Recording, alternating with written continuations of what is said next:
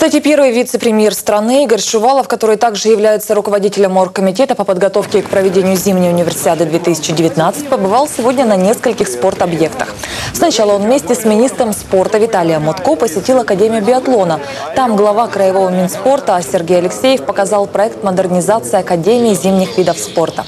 Напомню, к универсиаде предстоит создать систему освещения лыжных трасс, искусственного снижения и расширить трибуны. После Академии делегация отправилась в библиотеку СФУ. Там во время универсиады устроят медиацентр.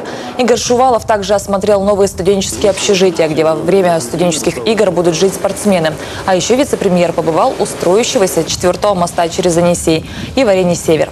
После этого он поручил краевому правительству ускорить подготовку проектно-сметной документации по объектам Всемирной зимней универсиады 2019.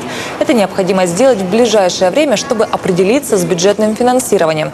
А министр спорта Виталий Мутков, в свою очередь, предложил Федерации выделить региону субсидии на эти цели.